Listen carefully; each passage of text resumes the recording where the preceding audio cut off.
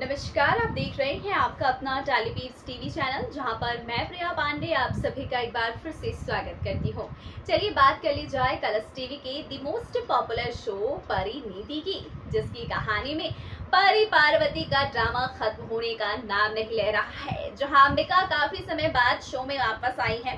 वो एक लंबी छुट्टी बिताकर आ रही है, जब तक परी ने उनका मोर्चा संभाला हुआ था। लेकिन अब पार्वती के आने के बाद, अंबिका जी के आने के बाद और परी ने अपना सच बता दिया है ना कि वो परी है, जैसे कि गुरप्रीत जी, हमारी बबली और संजू, इन सबसे जो है वापस से उसे झूठ बोलना पड़ रहा है कि नहीं, वो परी नहीं है, वो पार्वती है और उसने अंबिका सिंघानिया की कोख से जन्म लिया है। ये सारी बातें कहकर कहीं ना कहीं यहाँ पर पार्वती जो है अपने आप को सेव करने की कोशिश कर रही है ताकि उसका बना बनाया प्लान खराब ना हो।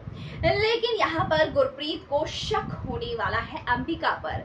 और वो अंबिका के सामने जो है ना, हाथ फैलाकर, झोली फैलाकर, हाथ जोड़कर अपनी बेटी परी उससे वापस मांगती नज़र आ रही है। जी हाँ आगे आने वाले सीक्वेंस में आप यही एक ड्रामा देखने वाले हैं, जहाँ पर हमारी प्यारी सी गुरविंदर, गुरप्रीत जी जो है, वो सारा सच जानने के बाद गुरविंदर के खिलाफ, नीति के खिलाफ तो हो ही जाएँगी, लेकिन साथ ही साथ वो अब पार्वती को वापस लेना चाहेंगे अपनी बेटी को अंबिका से छीनने की कोशिश करेगी और यहाँ से हम लोग को अंबिका का एक नेगेटिव रोल देखने को मिलेगा, क्योंकि वो पार्वती को लेकर काफ़ी ज़्यादा साइकोपना दिखाती नज़र आएँगी कि नहीं, पार्वती सिर्फ़ मेरी बेटी है।